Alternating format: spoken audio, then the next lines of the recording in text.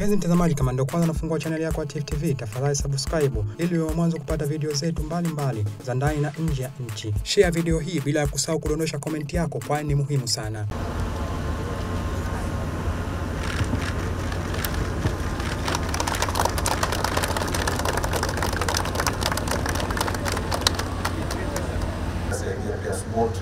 waweze mizigo yao ah, haraka waweze kuendelea au kisha walipie pole.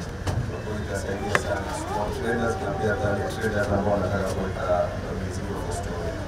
Alafu upande wa marine tuna draft ya 9 meters ambapo tumefanya survey so tunataka ku widen the jetty so that tuweze kuweka ku receive uh, bigger vessels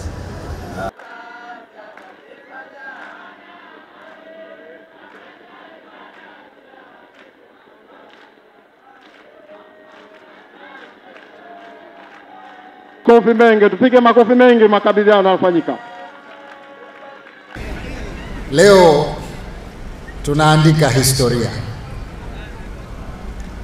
Hii ni meli ya kwanza ya makontena katika historia ya nchi yetu kuja moja kwa moja katika bandari ya Mkoani kutoka nje ya nchi. Hili tuliliahidi na sasa tumetekeleza. Nilizungumza hapa siku za nyuma, nikasema natambua kwa nini gharama za bidhaa hapa Pemba ziko juu. Sababu yake ni gharama za usafiri. Ilikuwa mzigo ukitoka China au ukitoka Dubai, kwanza unaenda kushushwa aidha kwenye bandari ya Mombasa au bandari ya Dar es Salaam. Ukitoka pale unakuja kushushwa bandari ya Malindi Unguja. Ukitoka Malindi Unguja ndo uje Pemba. Huu mzunguko wote huu, kila hatua unapandisha bei. Kwa hivyo bidhaa hapa Pemba ni za juu kwa sababu hiyo. Leo tumeambiwa hapa meli zitaweza kutoka China, kutoka Dubai, kutoka India moja kwa moja kuja mkoani.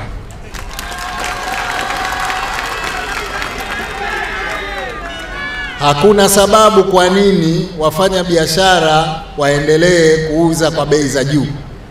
Kwa hivyo nichukue fursa hii kutoa wito kwa wafanyabiashara wetu, kwanza waitumie fursa hii ya kuleta mizigo yao moja kwa moja kutoka nje kuja Pemba, lakini pili, hakuna sababu tena ya kupandisha bei za bidhaa, kwa sababu sasa usafirishaji utakuwa ni wa gharama nafuu sana. Na kwa bahati nzuri ndugu zetu hawa wa CMA wametuahidi ya kwamba watatoa bei maalumu kwa makontena yanayotoka nje kuja moja kwa moja hapa mkoani. Wafanya biashara mliopo hapa, natoa wito kwenu, mtumie fursa hii. Leo hakuna sababu tena ya mchele unaotoka Pakistani au India ukazunguka kwenda Mombasa au Dar es Salaam ukienda Malindi Unguja, halafu ukaja Pemba, uje moja kwa moja ili mapembe yale yawe na gharama nafuu. Hatua hizi ninazozizungumza hapa zitaleta mapinduzi makubwa katika biashara na uwekezaji katika nchi yetu kwa upande wa Unguja na kwa upande wa Pemba. Itapunguza kwa kiwango kikubwa gharama za usafirishaji. Hii italeta unafuu katika bidhaa tunazozinunua hapa na italeta unafuu katika maisha. Lengo letu ni kurahisisha usafiri wa mizigo na abiria na hivyo kukuza uchumi na kuchochea ukuaji wa sekta nyingine kama vile za utalii, biashara, ujenzi, uchukuzi pamoja na uwekezaji. Ukiifungua nchi kupitia bandari, viwanja vya ndege na barabara, utalii utaongezeka, biashara itaongezeka, uwekezaji utaongezeka, kila nyanja katika uchumi itapanda juu. Na hili ndio lengo letu. Bandari ya Mkoani ndio hii, leo tunaikabidhi rasmi kwa sekta binafsi ili waweze kuiendesha kwa ufanisi, na ninafurahi kusema kwamba wameshapanga mpango mzuri wa kuiendeleza bandari hii. Bandari yetu hii watajenga jengo la abiria, yaani abiria watakapokuwa wanasubiri pale kusafiri wakae katika mazingira mazuri kama tulivyoona kwenye ile klipu ya iliyoonyeshwa. Kutakuwa kuna mazingira mazuri ya watu kusubiri usafiri wa boti hizi za abiria. Wataitanua hii gati ya mizigo ili meli kubwa zaidi ziweze ku, ku, ku, kupata ukuta hapa. Watajenga maghala ya kuhifadhia mizigo.